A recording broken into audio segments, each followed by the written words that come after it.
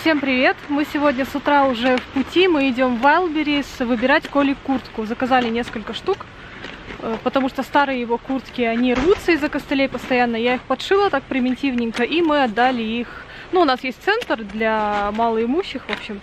В общем, специальный центр там от епархии. И мы туда все отдали, у него у бедного нет куртки, а у нас уже тепло, уже плюс один на улице. Что, неудобно, да, идти? Ну да, проваливаются костыли.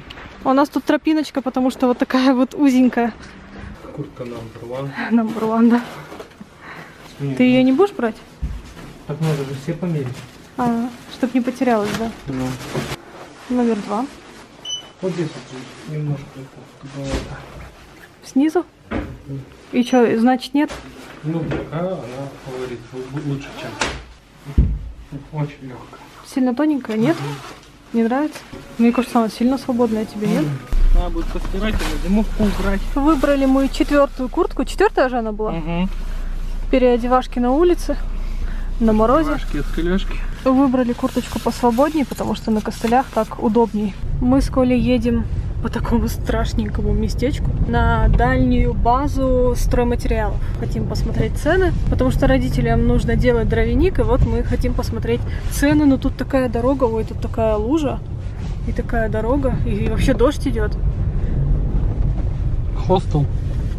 И хостел, да, отличное место для хостела.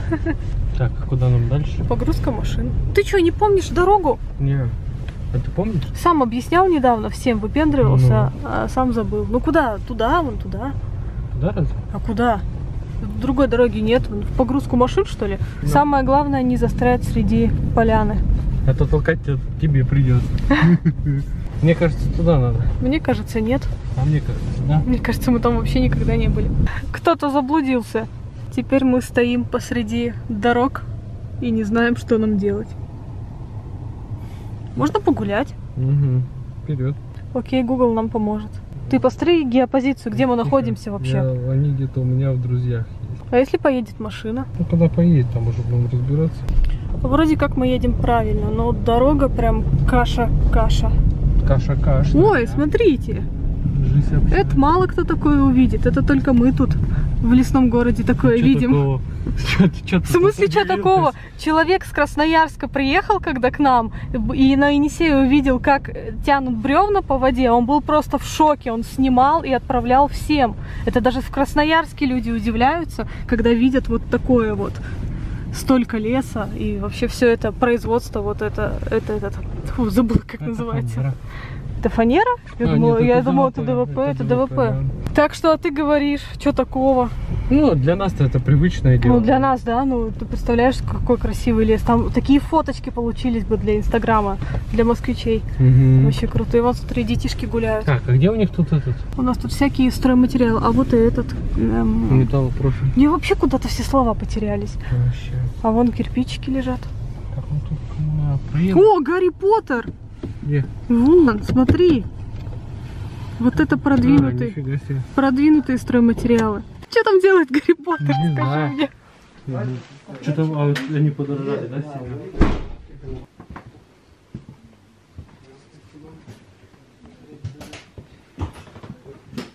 Чё? Правильно он все посмотрел? Да, очень сильно подорожало.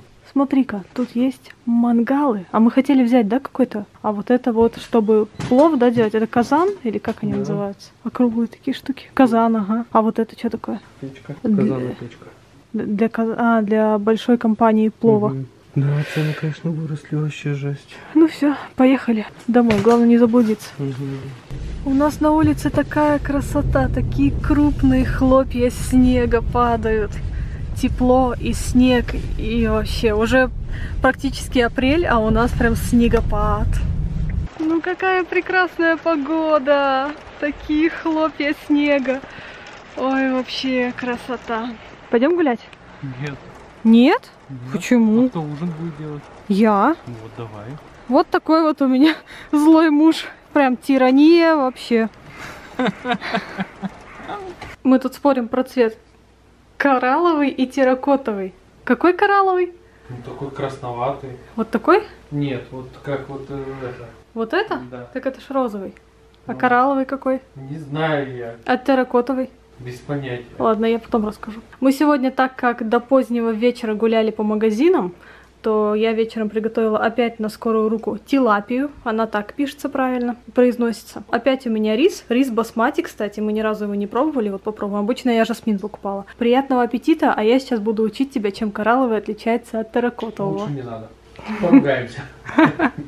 Мужская лень безгранична. Чтобы по два раза не ходить, можно все сделать за раз. Коля у меня самостоятельный. Что еще в карманах? Все, телефон. А, еще телефон притащил. Все, за раз все принесено. Молодец. А, Формула-1. Сетевой фильтр только не включил, рук не хватило. На что это ты намекаешь? Включи сетевой фильтр. Я? А я пока пепси открою. Сетевой фильтр у нас в ящике. Ему отведен целый огромный ящик. Итак, наступил этот день. День моей сессии. Первый день. Первый день. На самом деле я жуткая трусиха, я сильно всегда переживаю, боюсь неизвестности и очень сильно нервничаю, уже не сплю. В общем, я вся на нервах. Надеюсь, И что по- все будет хорошо, с И Богом. Я как будто на, на войну собираюсь. А страдаю при этом всем я. Да, неправда. Это была шутка. Дыши. Афобозол мы приняли, но не помогает. Ничего не помогает. Я раньше уже и транквилизаторы пила, ничего не помогает. Боюсь я неизвестности, боюсь людей, боюсь выступать с презентациями перед аудиторией. Да я вообще, я вообще жуткая трусиха. Если вы знаете какую-нибудь трусиху, то умножьте на 100 и получите примерно меня, а лучше на 200. Нервная. Прям все нервное. Она когда нервничает, очень тщательно расчесывает волосы. И у меня все болит. Изжога, живот, тошнота, голова, я не сплю. В общем, сама себя убиваю. Не делайте так. Молодец. Ничего не бойтесь. Это всего лишь учеба, всего лишь сессия в масштабах планеты, это мелочь. Но я считаю, что это очень серьезно, потому что это моя глупость. Потому что ты очконавт. Есть космонавт, а ты сказала, Какой-то чудак у нас тачку бросил прямо на проезде. Люди стоят, не могут ни выехать, ни заехать. Самое сухое место занял. Люди вон пинают, а ему все равно. Вот что с такими делать? Колеса тоже прокалывать нельзя.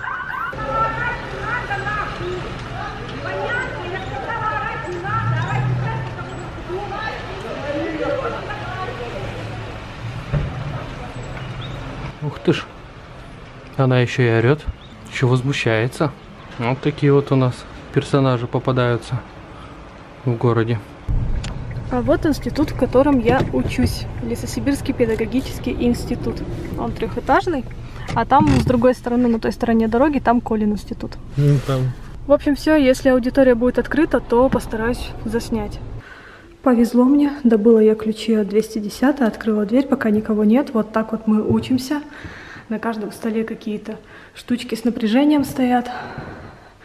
Тоже какие-то детали. Доска, там сидит учитель, а здесь вот нас, нас всего 4 человека. Телевизор у нас здесь и еще один телевизор. В общем, такой очень странный, неординарный кабинет. Сразу надо открыть окно. Ну, в общем, здесь что-то проходило, как будто по физике, хотя институт педагогический, так что непонятно. Сразу открою окно, потому что жарковато. Куча розеток, навряд ли они, конечно, работают. И вот здесь сижу я, и там еще три человека. Там преподаватель, ключ, кстати, надо туда положить. И вот такое вот стоит на каждой партии. Розетки не работают, мы проверяли. Все, пока никого нет, я одна на фоне телевизора, буду ждать остальных. Так, у нас такие насыщенные дни с моей сессией. Я вечерами учусь, времени нет. Сейчас утром мы поехали уже на вторую прививку. Говорю, что вторую. Все равно будут спрашивать. Вообще все надо повторять по 10 раз. Говорю, что первую все равно переспрашивают. Поэтому вторую прививку мы вот сейчас сделали. Отъезжаем от больницы нашей. И сейчас мне еще надо будет в другую больницу. В общем, сегодня я сессию, наверное, пропущу. А пока у нас есть время, мы, наверное, погуляем с тобой. Приехали мы на маленькую площадку. Тут детская площадка. Вечером красиво светятся олени. Где они? Отсюда не видно. Я здесь. Олень один, олени два, три там вот стоят. В общем, вечером все это красиво светится. Сейчас, конечно, не очень. Плюс грязь, снег еще не растаял. Коля играет, ходит в лабиринтиках на улице. Холодно. Шапку он не взял. Да, шапку не одевает. Зачем, говорит. Подошли к машине, я посмотрела наверх, а там на проводах висят кроссовки. Я представляю, как они там оказались, поэтому мне очень смешно. Как они там оказались? А, над этим стоит поразмышлять. Нет. Я зашла домой, мы хотим еще проехаться по магазину, в пятерочку, наверное, заедем. Э, принесла Коле пельмени из дома, чтобы ему на костылях не подниматься. Я принесла в пакете пельмени, ну пакет для заморозки, и перчатку одноразовую. Ну как? Согласись, пельмени из пакета. Самые вкусные пельмени на свете. Готовьте пельмени в пакетах. Ешьте пакет, пакеты из пельменей. Да, пакеты тоже можно поить, будет очень интересно. А то целый день мотаемся, вот как. Резину поставили летнюю, купили. Угу. Я А даже не видела. Я даже не видела. Посмотрю потом. Пельмени. Ну да, нормально. Это ермолинский, кстати. Не премиум, а. М, Очень вкусно. Все, поехали. Поехали. Обед закончился. Мгм. Мы приехали опять на Енисей. Только вчера были на Енисей, только в другой части города, и там еще лежит лед и снег. А вот здесь вот, в начале города, уже почти все промыло. Как быстро летит время. И бесстрашные рыбаки. Да, рыбаки рыбачат. А какая разница, да? Интересно, поймал что-нибудь? Радикулит. Замерзшие ноги. Так он стоит, даже не сидит. Потому что вдруг бежать придется. Это правда уже опасно. Там, слышишь, трещотка? Слышишь? Да, трещит точно. Ну, наверное, может скоро отколется. Льдина трещит. Блин, это так круто. Хорошо, красиво, но надо учиться. Поехали. Чему учиться будем? Будем э, клиническая психология детей и подростков у нас сегодня. Маниакальные расстройства. Приключения наши не заканчиваются. Мы только приехали домой, я начала раздеваться и обнаружила, что у меня вот здесь вот под ключицей какая-то шишка уплотнения. Продавила, прощупала и прям больно. И теперь оно начинает еще сильнее болеть. И прям жжение какое-то. Вот шея, ключица, вот, в общем, весь этот бок. Коля прочитал в интернете что-то страшное, мне не говорит, но сказал, что собирай вещи, надо ехать в приемный покой. Вот мы едем. Ну, я не знаю, насколько это страшно. Ну просто, а вдруг она вырастет за ночь еще больше, так что лучше проконсультироваться. Я надеюсь, что меня примут, потому что хирурги у нас уже не работают, уже вечер. Мне надо учиться, а я катаюсь. 33 Целый день. несчастья. 193 по подсчету. Я уже устала. Кстати, после прививки температура небольшая была, но я вчера пила кетонал. Сегодня второй день после прививки, и температура небольшая есть. То есть кости ломят, э, мышцы болят. И вот какое-то образование, не знаю чего. В общем, просидели мы в приемном покое, там хирург сидел, он говорит, ну а что делали перед этим? Я говорю, ну прививку делала. Он говорит, ну вас же предупреждали, что там могут воспалиться лимфоузлы. Я говорю, нет, не предупреждали. Ну, в общем, он даже особо не прощупал, сказал, это область вот ключицы, область лимфоузлов. Мне кажется, это несерьезно. В общем, эти лимфоузлы, симптомчик, конечно, такой себе. Все вот здесь вот болит, вот здесь вот шея, жжет все. Вторую прививку сделала вот так вот. Коля тут вчера сломал выключатель, сегодня делает выключатель. Мгм. Поэтому у нас тут темно. Что потерял? Что уронил? Говори, достать? Нет? Что за выключатель-то купил? Хоть покажи. Посмотрим. Так. Мгм. Без этого, без индикатора. Чё так? Нафиг он нужен? Мгм, понятно. Гарантия три года. Сейчас выходили из подъезда, встретили соседа, он сказал, что переезжает, мы спросили, куда, а он говорит, в Анапу. И мы как раз же тоже хотим в Анапу, ну просто хотя бы съездить на разведку. И вот он говорит, ничего не бойтесь, что здесь делать вообще? Морозы, холод, а там климат для ребенка хорошо, и вообще все там так хорошо. В общем, такой решительный, прям заряжает энергией, да? и решительностью. Ничего не бойтесь, что бояться, там родители пусть к вам и ездят, тоже агитируйте, вообще прям так там все. Но они купили там трехкомнатную за 3 700 год назад, а сейчас она уже стоит 6 миллионов. Где мы возьмем 6 миллионов? А, да, так там мне нужна трехкомнатная. Ну, говорит, ну купите себе двухкомнатную, если свою трешку здесь продадите. Но мы-то хотим дом. Но дом можно купить, конечно, там за городом, в каких-нибудь станицах, и самим его потихоньку достраивать. Мы же любим делать ремонты. Ты любишь? Ты не любишь? Ты не любишь? Нет, Ты не любишь делать ремонты? Ну-ка, Люблю делать ремонт. ну-ка. Я обожаю делать ремонт. Я так и думала. В общем, конечно, есть над чем подумать. Хорошо, завидую таким людям, решителям, которые ничего не боятся, все сразу легко взяли, сделали, уехали. Молодцы, конечно. Чем? Пошли сейчас ему. Ему под 50, говорит я, переводчик. Но он сказал, что он в 45 развелся с женой, то есть начал полностью новую жизнь. Все его осуждали, но он так, ну действительно, надо делать то, что хочешь. Ну что делать, если я хочу... Не и- жена. Ну не знаю, если тебе некомфортно.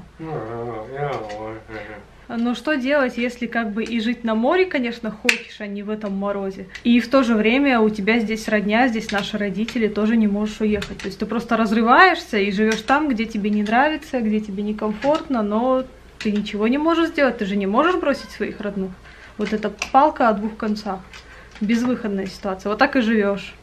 До пенсии, да, доживаешь свой век, а потом буду потом жалеть, а почему раньше не переехала? Чего мы тут 7 лет сидели, по сути, ничего и не сделали, кроме квартиры? Ты-то у меня трус еще тот, даже в Хакасию боялся ехать тут 700 километров. Когда только поженились, он тоже только дома сидел, никуда. Я говорю, ну в Хакасию тут совсем близко. Не, боюсь, боюсь, еле как его вытащил. Потом на море еле как вытащила. Но чтобы переехать жить в Анапу, там вообще не знаю. Сделал?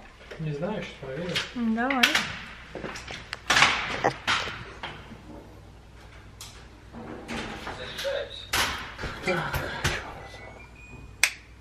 Та-дам! Да, очень яркий свет. Все, работает. Да, ну надо теперь выключатель на место поставить.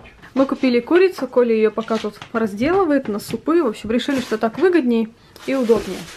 Так как мы приехали вечером только домой, я вот себе достала мидии, перекусываю мидиями. И сейчас я вам расскажу про хобби вот этого человека. Это не хобби. Чем он решил заняться? В общем-то, в один прекрасный вечер мы уже собирались ложиться спать. Я уже лежу на кровати, Коля ест яблоко перед сном. И тут он говорит, а, смотри, там семечки проросли, какие-то там два росточка, семечка проросла, что делать? Надо срочно ее садить, короче, уже почти ночью надо садить семечку. Якобы он такого никогда не видел, и надо срочно их посадить, эти семечки. И вот, он говорит, давай все, вставай с кровати, я же уже лежу, а у нас земля под кроватью. Я говорю, ты во что будешь ее садить? Землю из-под кактуса или из-под фикуса? У нас нет земли для яблонь.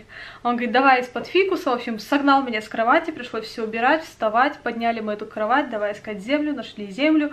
И у него на тумбочке стоял стакан из-под гренок. Ну, в пятерочке покупали гренки с каким-то соусом. Вот этот стакан из-под гренок он взял, насыпал туда землю из-под фикуса, попшикал пульверизатором, полил и посадил, да, свои семечки. И потом, пока мы еще не легли спать, постоянно подходил, вот так вытаскивал все и смотрел, говорит, «А, там корни увеличились, уже больше стали. Я говорю, если ты будешь вытаскивать вот так и смотреть, тебе вообще ничего не вырастет. В общем, утром он тоже встал, опять же вытащил эту семечку из земли, увидел, что она растет и дает корни. Я говорю, у тебя ничего не вырастет, если ты будешь каждый час вытаскивать из земли вот это вот, в общем, семечку с корнями. В общем-то, прошло сколько дней у нас уже? Где-то неделю. Да, где-то прошла неделя. И вот что он у нас вырастил. Там было две семечки, вот это вот побольше, вот это вот вторая поменьше. Она такая черненькая, потому что на них сверху была семечка, ну это шкурка одетая. Я говорю, не снимай, они еще не готовы. В итоге я ушла на учебу.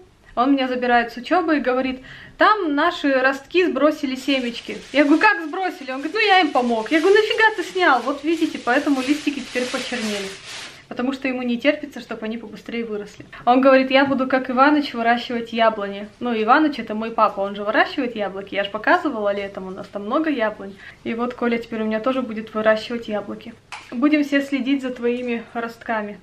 Какие-то бешеные дни, согласись? Прям. Просто бешеные дни. И со здоровьем, постоянно по больницам, и учеба, и то, и все. И вообще капец, дома даже есть нечего. Да просто некогда приготовить. Да и неохота, потому что ты постоянно занят. Тебе просто некогда. Это просто жесть. Я Где думала... полотенце?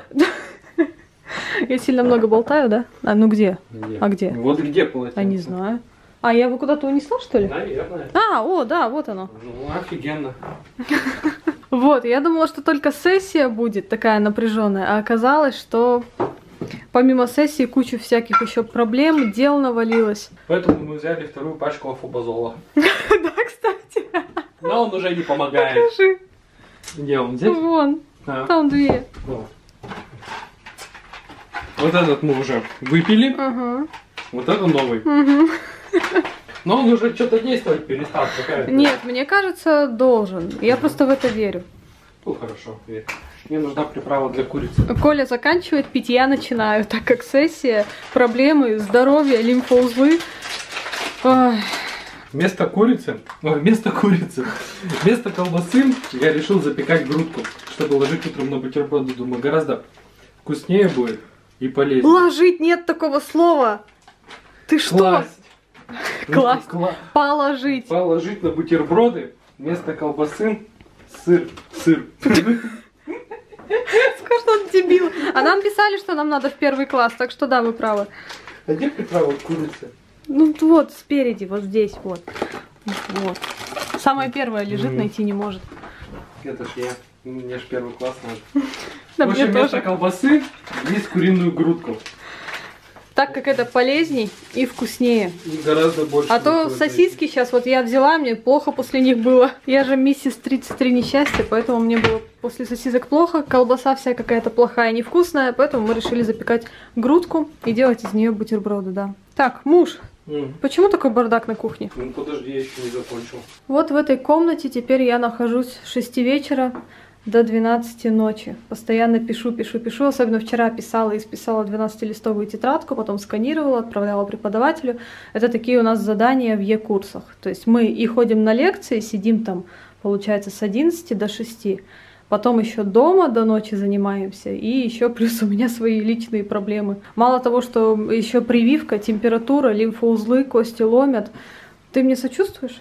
Нифига ты не сочувствуешь. У меня тут вон план. На твоем лице все фокусируется, ты же звезда. У меня тут вот план, что нужно сделать. Планы, планов много, планы огромные, я ничего не успеваю сделать. У нас завтра технологии работы с замещающими семьями и психолого-педагогический практикум, по-моему. Клиническая психология детей и подростков мне надо сделать дома. Это что такое? Это фольга. Мгм. Это вот у меня шоколадка тут лежит для мозгов. Все про курсовую здесь написано. Здесь салфетки для слез и соплей, так как нервы сдают. Я взяла себе побольше, чтобы плакать. Дневники, еще практика помимо всего. Здесь вот педагогика и психология девятного поведения. Немножко были лекции, потом остатки экзамены будут уже через три недели. Это у нас что? Выключение сознания, оглушение, сопор, обморок, кома, в общем, вот это вот все. В общем, всякие страшные заболевания по клинической психологии, чистые тетрадки. Муж, который постоянно мешается. А я-то что? Я сейчас уйду и все. Пришел что-то. Че пришел? Ты хочешь написать мне лекции? Нет. А еще нам задают часто поставить какие-нибудь фильмы старинные, или вот последний раз на эту сессию, сейчас мы с Колей смотрели 50 первых поцелуев, потому что там антера, антероградная амнезия, по-моему, главной героини, вот Дрю Берримор, кстати, с которой меня сравнивают почему-то в комментариях к видео к Новому году, говорят, что я похожа на Дрю Берримор. Если что, она мне не нравится, не надо меня с ней сравнивать. Мне кажется, мы вообще не похожи. В общем, надо поставить фильм, написать, какой, какая у нее амнезия, ну вот антероградная, там вот. В общем, я написал. Да, в основном этим занимается Коля, потому что я как-то не люблю это делать, я строчу лекции. А потом еще мне говорят, вот надо все за тобой переделывать, перепроверять, Ну да, как потому могла э, кратковременная память. Я говорю, кратковременная у нее пострадала, она не может быть В общем, вот так такого». вот спорим, поэтому мы ничего не успеваем, потому что мы с тобой постоянно Да. спорим. И потом еще телефонная будка. Мы вчера тоже уже перед сном смотрели, да, фильм Телефонная будка. Но я увидела давненько, и там нужно тоже вот психические особенности человека, то есть психа. Ну, кто, короче, из них псих, надо понять. Что у него за заболевание, что с ним делать. В общем, какие-то там такие странные вопросы. Вот такие, в общем, у нас еще задания, всякие читать статьи, смотреть какие-то фильмы и вот психологические особенности оттуда вытаскивать. Если меня не убьют мои образования под ключицей, то бишь лимфоузлы, хотя я не знаю, там может вообще вырасти все что угодно. Я очень-очень переживаю, и болит у меня вся вот эта вот прям часть. Мне страшно. Если я выживу, то видео выйдет И яблоки вырастут. Да, у него яблоки, у меня болезни, сессия. Короче, очень весело живем. Надеюсь, что все будет у нас хорошо и у вас тоже. Спасибо вам за пожелания нам хорошей жизни. Здоровья. Мы тоже вам желаем всего наилучшего. Мы вас очень любим и очень рады, что вы у нас есть. И что мы у вас есть. Поэтому всем спасибо и всем пока-пока.